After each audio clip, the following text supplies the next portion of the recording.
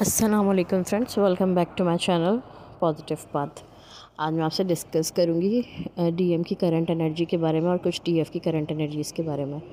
तो आपकी जो डीएम की जो करंट एनर्जीज़ हैं, उसमें जो है वो, उनको जो है रियलाइजेशन हो रही है और काफ़ी हद तक रियलाइजेशन हो रही है कि आपकी जो मोहब्बत थी, वो कितनी डिफरेंट थी औरों से और आपकी मोहब्बत की सच्चाई और आपकी इनोसेंसी और आपकी ओबीडियंसी और आपकी मोहब्बत की सच्चाई उनको जो है काफ़ी हद तक रियलाइज़ हो रही है। कार्मिक ने उनको जो है बिल्कुल तोड़ के रख दिया है। कार्मिक ने उनकी लाइफ को मेंटली फिज़िकली मतलब कि सारे सातों चक्रा बंद कर दिए हैं उनके कार्मिक्स ने। सातों चक्रा उनके बंद हो गए और जो है उनको बहुत ज़्यादा डीप लेवल पर आपकी याद आ रही है और वो बहुत ज़्यादा एहसास हो रहा है उनको। इवन वो रो रहे हैं, वो बहुत बुरी तरीके से, लेकिन किसके लिए? वो आपके लिए, आपकी मोहब्बत के लिए। क्योंकि जो आप हैं उनके लिए, उसकी रियलाइजेशन उनको होना शुरू हो गई है। तो हो सकता है कि जो है आपका डीएम जो है, वो आपको कांटेक्ट करके ये बात बोले भी और आपसे माफ़ी भी मांगे इस चीज़ की, कि उसको रियलाइजेशन हो गई है कि उसने क्या खो दिया है और आप कितनी अच्छी थी। इस चीज़ का वो आपको बताएगा।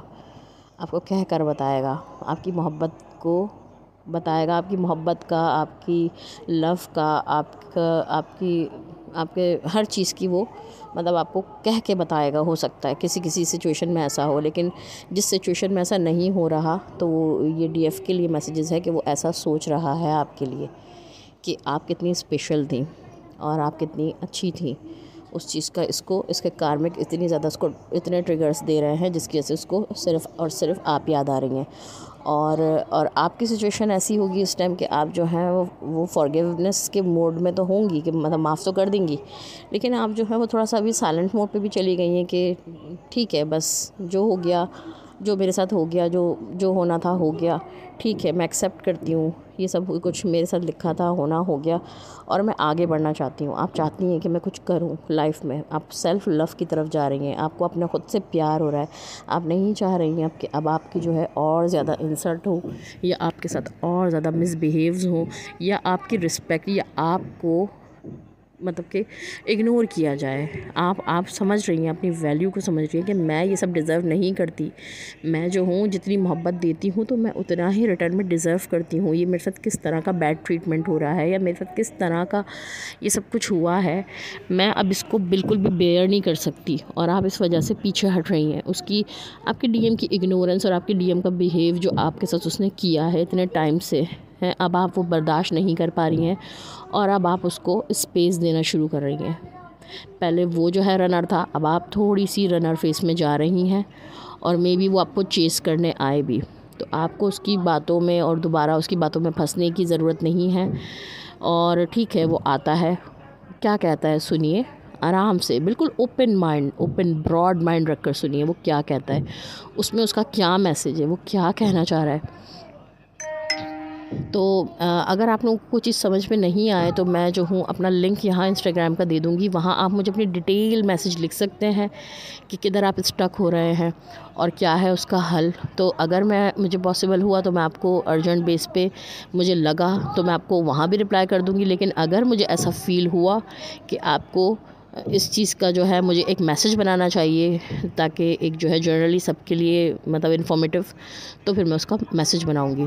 तो आप ये देखते हुए उसको जवाब दें और अपने आप को ब्रॉड और ओपन माइंड रखते हुए बात को समझें उसकी, वो क्या कहना चाह रहा है, क्यों आया है वापस, क्या आपको खींच के दोबारा से जो है वो अपने मोहब्बत के उसमें करने आया है। और अपनी फीलिंग्स को भी देखिए देखें अपनी फीलिंग्स को ज़रूर मद्देनज़र रखा करें कभी भी अपनी फीलिंग्स को मैसेजेस के थ्रू या किसी मैसेज को सुन के कि करंट एनर्जीज़ ये चल रही हैं और आपको ये स्टेप लेना, उनके थ्रू नहीं कर दिया करें। अपनी ज़रा अपनी फीलिंग्स को भी रखा करें, क्योंकि ये जनरली एक मैसेज बताया जाता है कि ये जो है मेजॉरिटी जो है वो ये फीलिंग कर रहे हैं। इस तरह की उनकी फीलिंग्स है। लेकिन आप अगर इस सिचुएशन में कि आप अगर उनसे अभी डी अटैच नहीं हो पा रही हैं उनसे उनको जो लेट गो नहीं कर पा रही हैं तो अभी नहीं करें। आप उनके साथ अटैच रहें। अभी आपको और उनकी ज़रूरत है उनकी हीलिंग की उनकी पावर्स की उनकी लाइट की। जितनी लाइट उनकी आपके ऊपर पड़ती रहेगी आप उतना चमकती जाएँगी। तो अभी ऐसा ही आपने कर दिया कि दरवाज़ा बंद कर दिया, लाइट नहीं आने दी तो फिर प्रॉब्लम भी हो सकती है। तो अपनी फीलिंग्स को ज़रूर देखें, एहसास को अपने दिल की सुने, क्या कहता है कि नहीं, अगर वापस आया भी आपको और मोहब्बत चाहिए और उसके साथ रहना चाहती हैं तो रहिए, ठीक है? लेकिन इस, एक सिचुएशन ऐसी आती है हर डीएम की लाइफ में ना, हर डीएफ की लाइफ में, कि उसका डीएम जो है उसको खुद से बोलता है, जाओ दूर, हटो डी अटैच करता है उसको ना, अपने से कराना चाहता है। तो काफ़ी लोगों को लेकिन ये ऐसी फीलिंग्स आई आ चुकी हैं। मतलब ऐसा फील करेंगी कि अभी डी अटैचमेंट ज़रूरी है और दूर हो जाना ही ज़रूरी है। तो वो होइए और अपने ऊपर वर्क करिए सेल्फ़ लव करिए, अपने आप को ग्रो करिए, अपनी पुरानी ज़िंदगी में जो थी, उस पर फोकस करके उसको ठीक करने की कोशिश करिए। अब आप बहुत समझदार हो चुकी हैं, काफ़ी कुछ आपको समझ में आ चुका है और आपके डीएम को भी आपकी देखें रियलाइजेशन हो गई है। आप इतनी हाई पावर में आ गई हैं कि जो है आपका डीएम जो है वो भी आपने अट्रैक्ट कर लिया है। अपने आप जो कि आपसे मोहब्बत करने के लिए फिर से आ रहा है, आपका दीवाना होता जा रहा है। तो इसको भी हमें और बढ़ाना है, और बढ़ाना है, और बढ़ाना है। तो इसलिए थोड़ा सा सब्र, बर्दाश्त ये भी करना है। लेकिन सिर्फ़ उन्होंने, उनको ये करना है जो कि कर पा रही हैं। लेकिन जो नहीं कर पा रही हैं, ज़रा सी भी टूट फूट रही हैं तो आप जो हैं दोबारा अटैच हो जाए अपने डीएम के साथ। डीएम जो है वो तकलीफ़ में है और रो में भी वो रोए भी। मैंने तो रोता हुआ भी फील कर लिया है कि रो भी रहे हैं। उनका आँसू भी निकल रहा है आपके लिए मतलब इस तरह की उनकी हालत हुई हुई है आपके लिए और आपको लेके। तो अपनी जर्नी के हिसाब से आप जो है उसको तय करें और जब किसी को ज़रूरत हो तो वो मशवरा भी कर सकता है, किसी अच्छे मॉडरेटर से या फिर किसी टीचर से मशवरा भी कर सकता है कि उसको क्या करना चाहिए। और ऐसी ही कुछ सिचुएशंस चल रही हैं डीएम की लाइफ में और आर डी की लाइफ में। और इसके अकॉर्डिंग जो है वो मैंने एक सॉन्ग भी रखा है। आप डिस्क्रिप्शन बॉक्स में जाकर उस सॉन्ग को सुन सकते हैं कि डीएम की क्या है कंडीशन आपके लिए। और बस यही कुछ एनर्जीज़ मुझे पिकअप हुई हैं और ये सब कुछ देखें जो अभी आ, ये जो चेंज आया है ना लूनर एक्लिप्स की वजह से फुल मून एनर्जी की वजह से तो पर्जिंग फील हो सकती है। रोना जो है मे बी किसी डीएफ को भी आ सकता है लेकिन इस टाइम जो है डीएम की अवेकनिंग ज़्यादा हो रही है। इस टाइम डी डीएम्स जो है वो ज़्यादा अवेकन हो रहे हैं उनको दिए जा रहे हैं ट्रिगर्स कार्मिक की तरफ़ से और सबकी तरफ़ से।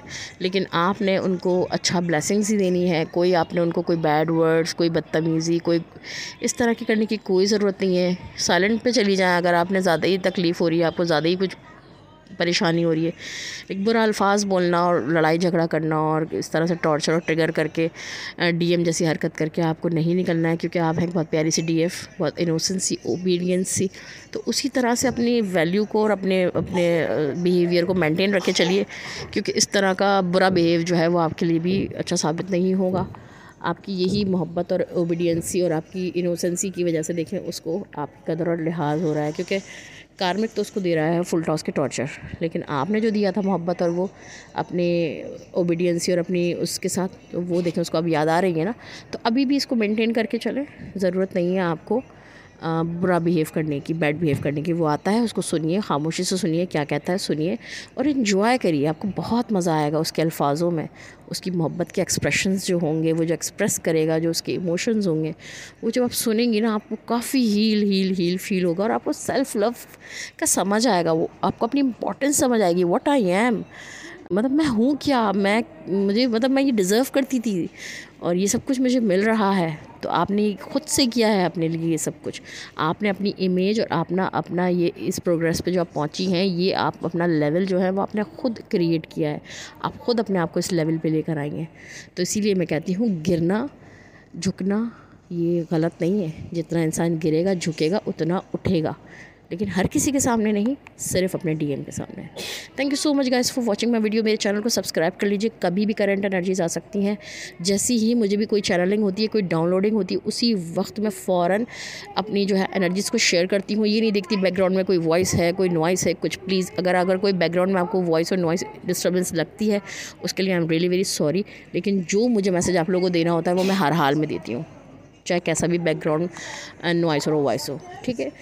तो मेरे चैनल को सब्सक्राइब कर लीजिए और अगर मेरी वीडियोस पसंद आती हैं तो प्लीज़ उसको लाइक कर दिया करिए और कमेंट में भी करके बताया करिए ताकि मैं जो हूँ आप लोगों के लिए इस तरह के इन्फॉर्मेटिव बातें जो हैं लाती रहूँ।